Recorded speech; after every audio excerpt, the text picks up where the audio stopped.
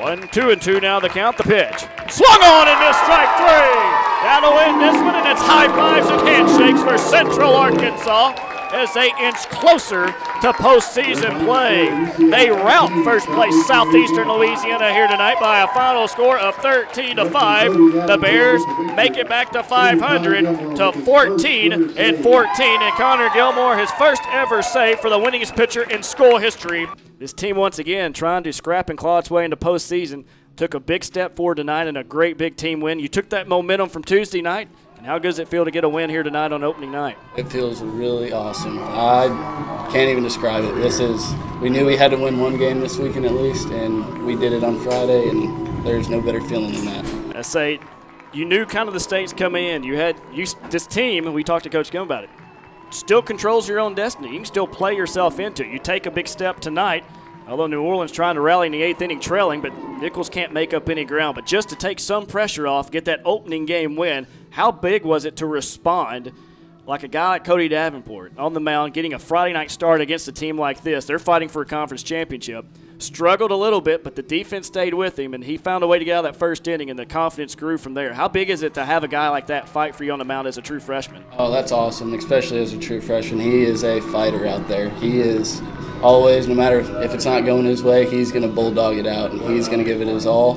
You could see it tonight. You know, he started off kind of slow, but he came back out there and just shoved the fastball right back at him. How big was it in that third inning when a lot of teams don't get so many chances to score like that against a team like Southeastern? You know, top five ERA in the nation coming in, and you know, as teams like us coming in, you've got to take care of their of their mistakes. You got to capitalize when you get a chance, but not only to capitalize, tie it up, but then take advantage of every error they made and just continue to pile on. How big was that? Was that not only to tie and just take a one-run lead, but to continue to pile on and put the pressure back on them? Oh, that was big time. You know, they they gave us walks, they gave us errors, and they gave us some good balls to hit, and we took advantage of. I'm pretty sure almost everything they gave us that inning, and it turned out awesome. We scored eight runs after being down three, and that just really I think set the tone for the rest of the game. Carrying the momentum over from Tuesday night going back to that, how to set the tone for this week. You know, it's a big week coming in. It's a rivalry game, but you guys set the tone early. They got a big inning in the middle, took the lead, but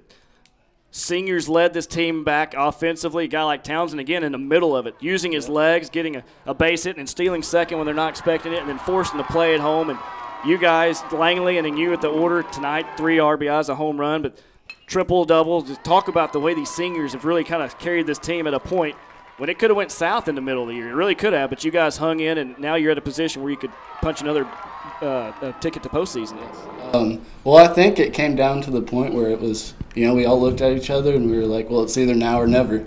You know, and we want it to be now. We're not going to give up. That we know that this is our time's running out, and we're going to take full advantage. And I think we've done an awesome job just sticking with our approach and just going out there and playing playing free like we got nothing to lose we talked to you earlier this year, and the lineup still wasn't completely healthy. I mean, you've missed some time, I think. Matt Anderson's missed time. Chris Townsend's missed time.